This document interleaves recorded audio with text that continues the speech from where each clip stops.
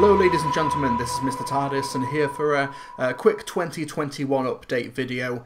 Uh, apologise for the slapdash nature of the recording, just needed to really get this video out quickly because the Revolution of the Daleks review it's done. It's finished. It's uploaded, but because of YouTube copyright content ID stuff, it's not actually going to be viewable for a couple of days on YouTube. However, I have made it available uh, for my patrons. Uh, if, if you are a patron of any tier of mine on patreon.com, then you're able to get early access to the review before the, the, the couple of days where it goes through YouTube's content ID system. It should be live for everybody else on Sunday night uh, in the UK, Sunday evening. Uh, but until then, patrons can get access to it uh, via Patreon. It is basically how I uh, help to pay my bills because 2020 has been one hell of a year. Uh, as many of you folks know, I work freelance in the TV and film industry and uh, especially in the early days, it was an industry that was kind of decimated by COVID 19. Uh, and it was also due to the nature of how freelancers in the media industry get paid. They are one of the people who gets basically no government assistance and zero government uh, help during uh, the pandemic, during lockdown, during everything happening.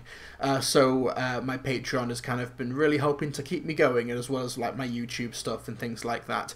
I've I've been one of the lucky ones, to be honest. I have managed managed to do a couple of jobs uh, between like now and March or April when all of this started last year. Uh, I am one of the lucky ones, uh, but if it wasn't for my Patreon last year, if it wasn't for my YouTube stuff, things would be very, very different. Especially going into into 2021. Uh, myself my fiance we're meant to get married in April, and we actually have no idea if that's still able to go ahead. We have no idea what's happening. Uh, we may have to have just a bare minimum massive cut down ceremony. No idea what's happening with that. But basically, if you were a patron over the past like 10, 11 months, massively appreciate it. Thank you so much for all of your help, all of your support, and as the Patreon keeps growing, which I'm massively appreciative for, the stretch goal is still available, it's still there. If I get either 100 patrons or reach $400 a month on Patreon, I will get a, a Blu-ray of Class and I will do a whole video on that series, a series I've never seen before, so uh, that's an incentive uh, to not only get uh, the reviews and the content early, but also to get your name in the credits, to get access to a Mr. TARDIS Discord server, uh, and things like that, all those other perks. So if you want to help uh, to support my content and also subject me to class, then patreon.com forward slash Trilby is the place to be. Uh, now, before we move on to what's happening over the next few months on the channel, on the Mr. TARDIS Reviews channel, uh, let's look back on 2020 basically. Uh, like I said, I've, because of the pandemic and lockdowns and stuff, I've been able to get a lot more content up in 2020. And recently, we uh, got around uh, 19,500 subscribers. Uh, Cybercember definitely pushed us uh, over a threshold uh, during December when so many people were watching. People who uh, have been introduced to my content through that. So, if you're new, if you're here because of Cybercember, hello, nice to meet you all. Thank you so much for, for checking out my videos and all my Doctor Who stuff. Uh, so Cybercember, that was one hell, of, one hell of a thing. That was a way like more than I thought it would be when I decided to take on the project. But I'm glad that so many people enjoyed it. So many people were sharing the videos around and commenting and liking that massively. Uh, was that, that that support was incredible. Really, really appreciated it. Um, as for whether or not I'll do another marathon in 2021, people have been suggesting I, I do stories on the Master. It's a bit difficult because I have no idea if I'm going to be able to dedicate that time like I was able to uh, in 2020 to putting together another marathon like that. But also maybe I, I want to do something different for, for Christmas 2021. I don't know what that will be yet. It might be uh, a countdown or something, or it might be mini projects over the course of December. No idea yet, but if you do have any suggestions, I want to hear it in the comment section below. Uh, please let me know if uh, if you would want to see some more uh, Sember type marathon videos. However, one big thing that I also did last year was I wrote, directed, and produced my own audio drama for Doctor Who, Doctor Who: The Collateral of Ivanhoe. Uh, you're probably sick of me going on about it, but you know, thank you so much to everyone who has has watched it, has commented, has, has told me how much they enjoyed it. Thanks to everyone who was involved in being a, a part of it. Yeah, just thanks so much for everyone. That was such an incredible project to work on. I'd like to do another, and now that we know kind of what the status quo is leading into series 13 of Doctor Who, where we do have the 13th Doctor and Yaz, that might be where I base the next story on. I don't really have anything concrete in mind. I've got a few ideas bouncing around, chatting to a few other people, seeing if we can make that work, but yeah, that, that's I'd, I'd I would love to do that again. But as for what's going to be happening over the next few weeks and months on the channel, so I'm thinking January uh, and like early February is going to be stuff dedicated to Series 12, getting all of that stuff uh, out in the open, uh, best and worst moments, rankings, countdown, stuff like that. Because with Revolution of the Daleks, Series 12, as far as I'm concerned, is officially over. Because you had Resolution being the finale to Series 11, Revolution is the uh, finale to Series 12, I can now kind of look at that as a whole thing now. That's kind of what I'm going to be thinking about. So I'm going to try and get some content uh, out with those. We also do have, uh, I've, I've, I've yet to open it. I brought props with me. I've yet to open it yet, but this is the Series the Series 7 Steelbook. I have not opened it yet. I'm waiting to do that on camera. I probably should have opened it because then I could have used high quality footage for uh, upcoming videos, but you know, that's just how it is. But yeah, so I've got the Series 7 Steelbook that needs unboxing. That also oh, that reminds me, this Season 8 unboxing, uh, the unboxing saga, I'm wanting to take it in a new direction. Uh, because I think that story arc is over of the first lot of unboxings. So we'll see how that comes along, uh, whether or not I can get other people involved because of lockdowns and trying to adhere to social distancing and stuff like that. If I want to do it, I want to do it safely, uh, but also try and make it different. So that Season 8 uh, unboxing collection, that comes out in February, I believe, early to mid-February. Um, so we'll see what happens with that. But yeah, I've got that pre-ordered. Looking forward to watching those stories, and then maybe do another ranking video like I did with Season 14. As for some other stuff that's happening, I have a big project in mind uh, for around April time, uh, kind of in a similar format to Cybercember, because the numbers and everything, I've looked at the analytics for Cybercember, was so strong. I think that's kind of what YouTube wants me to do, you know, all that algorithm stuff. So I'm going to try and obviously not pander to that, but also try and lean into that format because I also think that's what many people really enjoyed from my content. I got a big subscriber boom because people just really wanted to watch that type of content.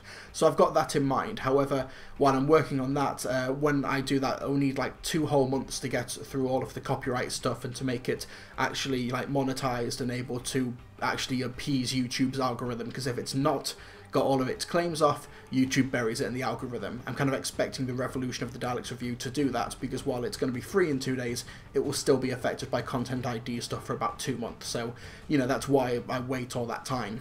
But during that two month gap, while I'm waiting for that project to finish, I'm going to look at some Time Lord Victorious stuff because that kind of comes to uh, a conclusion in February, March time. Depends on when that Echoes of Extinction gets a release because that had to be pushed back because of that Asda vinyl deal. But I have been keeping up to date with Time Lord Victorious. I've got the books here. I've finished um, The Knight, the Fool and the Dead. Uh, and I'm three chapters in to All Flesh is Grass. And the reason I'm only three chapters in is because, no joke, uh, between chapters 3 and chapters 4 of this book, um, they there's another Time Lord Victorious story. However, if I actually go to the chapter gap, drop the book. However, if I actually go to the chapter gap where chapter 3 ends and chapter 4 begins, there's nothing here. There's nothing saying, "Oh, if you want to, if you want to learn more about what happens between these, uh, listen to the Minds of Magnox." Uh, yeah, so that's even though there is a gap there, the book doesn't tell you. So that's one reason I wanted to put together a Time Lord Victorious project because you know copyright's not an issue. They're books. They're Big Finish Audio Productions. Genetics of the Daleks is really good, by the way. I'll say that much. But yeah, while the copyright stuff's happening with the other videos, the like similar marathon type format. I'm going to be able to talk about Time Lord Victorious and also do like reviews and also just let you know what on earth this project is, what I think the timeline is, and if it is worth engaging with. Ah, tea break. But speaking of Big Finish stuff, uh, I'm wanting to bring back Big Finish Fridays as its own regular thing. However, uh, I'm wanting to reformat it. I'm I've got some things happening behind the scenes to try and change the format and make it a bit more professional looking. But also, I have recently bought the 10th Doctor and River Song box set, uh, because I wanted to do a review of it. I'm halfway through it, I like it so far, but I'm going to try and do a review of that in the near future. Oh, and also I have pre-ordered the ninth Doctor Big Finish Adventure starring Christopher Eccleston, so uh, whether or not that happens before the reformat of Big Finish Fridays, either way, you can't stop me from talking about that. I Can't wait for that box set. Still waiting for a cover, still waiting for like writers and story details and stuff like that and casting. But yeah, I, I really am looking forward to that. So yeah, that's what's happening, or what's hopefully going to be happening over the next two to three months, maybe four months, um, and then I'll do another update video just to let you folks know where we stand.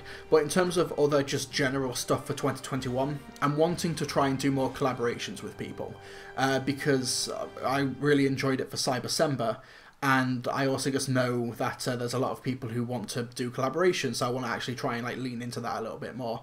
Uh, I've done quite a few podcasts recently. We've got the Who Knew podcast, which is a, quite a recent uh, new podcast on the scene. Uh, so I've done that one. I've guested on that uh, with the, with the host Josh.